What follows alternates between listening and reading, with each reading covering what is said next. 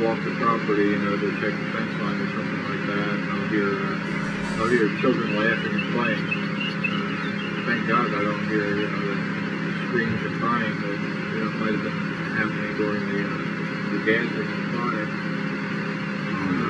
Yeah. Yeah, sometimes we get uh, uh, night raiders uh, locally from the uh, local university, uh, Baylor. You, know, you, you wouldn't think Christian kids would be about that, but two o'clock in the morning after the bar closes, they could, you know, go anywhere but home. You know, they can Come out here.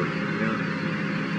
So we deal with it. It's uh, you know, once or twice a month, so it's not, uh, you know, it's not terrible, but it's terrible to think about. It is. Absolutely right.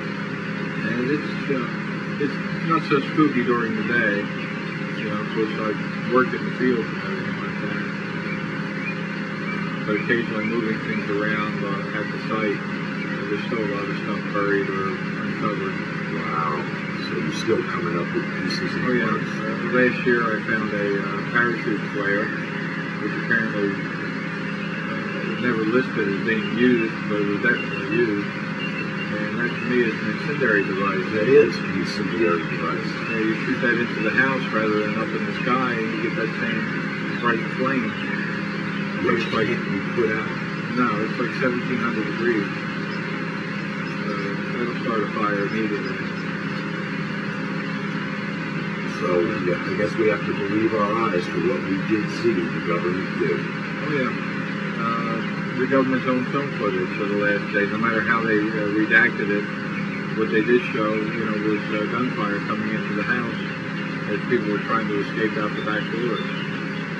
You know, there were at least uh, 20 bodies found with bullet wounds. Now, some were self-inflicted, uh, but a lot of people were shot in the arms and legs and, and back. You got to figure, you know, That's that- not self-inflicted. no. So, and, and of course, the bodies were held for later autopsy. Uh, but at some point in time, somebody unplugged the refrigerator at the uh, ME's office, and uh, all the bodies were buried within a week, having uh, decomposed. So no, no official autopsy on these gunshot victims. Unreal. Uh, the same with the uh, ATF agents who died the first day. Preliminary au- autopsy revealed that uh, three had been killed by temple shots, TF was then recalled, and in was called the Texas National Guard. and, uh, and just as likely to be friendly fire as anything else. TF was then recalled, and in was called the Texas National Guard.